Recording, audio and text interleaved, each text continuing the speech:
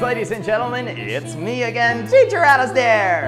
And today I'd like to read chapter 3 of our fourth Magic Tree House book, Pirates Past Noon with You. Ready for chapter 3? It's called Three Men in a Boat. We've come to the time of pirates, Jack said.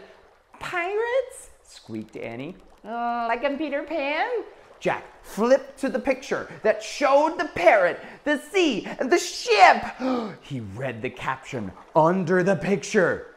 300 years ago, pirates raided Spanish treasure ships in the Caribbean Sea.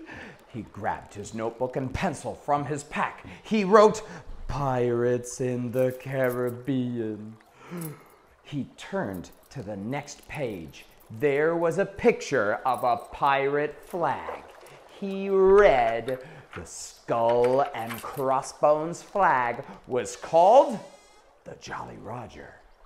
Let's go, said Annie. Wait, said Jack. I want to make a drawing of the flag. He propped the pirate book in the sand. He started drawing the Jolly Roger flag. Don't copy the picture in the book, said Annie. Look at the real thing. But Jack pushed his glasses into place and kept drawing. Oh.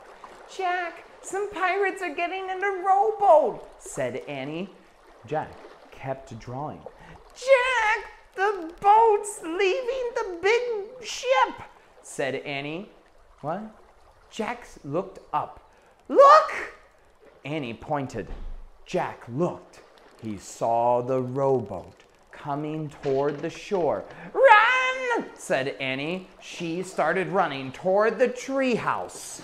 Jack jumped up. His glasses fell off. Hurry! Annie called back to him. Jack went down on his knees. He felt uh, uh, for his glasses. Where were they? Jack saw something glinting in the sand. He reached for it. It was his glasses. He snatched them up. Then he threw his notebook and pencil into his back. He put the pack on his back. He grabbed his boots and his socks and he took off running. Hurry! They're coming! Annie was at the top of the rope ladder. Jack looked back at the sea. The pirates were closer to the shore. Suddenly, Jack saw the pirate book. In all the confusion, he had forgotten it was still propped up in the sand. Oh man, I forgot the book, he said. He dropped his socks and boots below the treehouse. Come on, Jack, Annie shouted. I'll be right back, Jack called. I've got to get the book.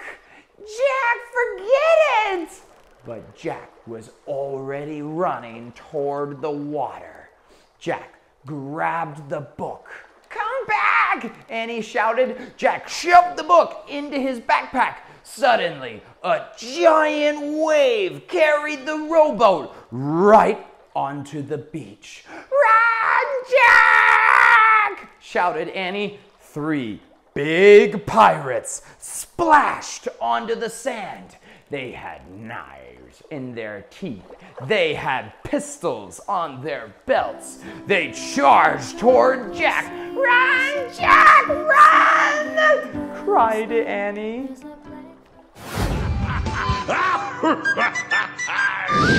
Good job reading the chapter with me today, guys. Did you know you can scroll down and see all of the other videos, like the songs and the Quizlets for our chapter 2? I got the song right here.